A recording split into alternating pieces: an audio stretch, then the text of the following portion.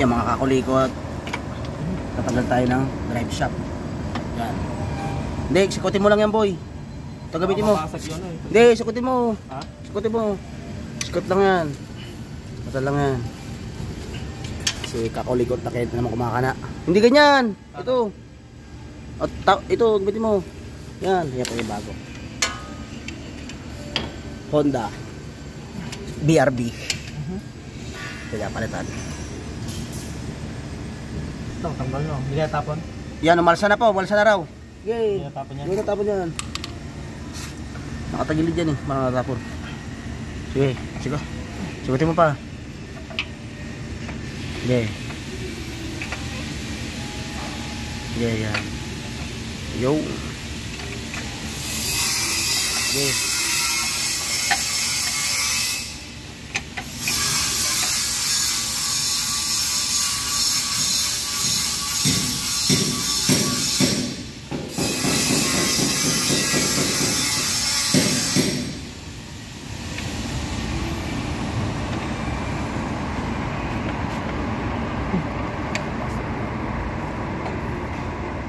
Asa, di ba?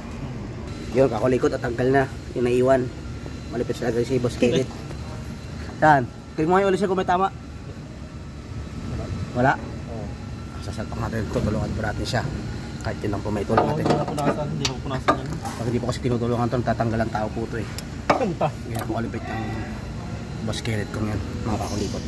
Ito pa yung bago. Baka sabihin nyo po, hindi pinagpapalit. Boss, shoot mo. Top, yan. Wait lang. Yan.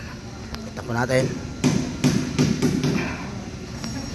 Teka lang, teka lang, teka lang. Yeah. Oh, sorry. Masakit? Tinamaan ako. Tinamaan ka po. Tinamaan po sa kayabe. Putang aksidente talaga. Video kasi ng video eh. Hayop ka eh. okay. Dali, dali lang, dali. Yan kaya, yan kakulikot. Pasok na. Yan. Pero hindi pa dumudugo ulo niya. Buhay pa po siya. yan. Sakto. to. Sakto na. Yan. Nagpalit din po siya ng lower arm. Tapos yung shock ng bago. Ayun po. Pagka na. Okay. Thank you po.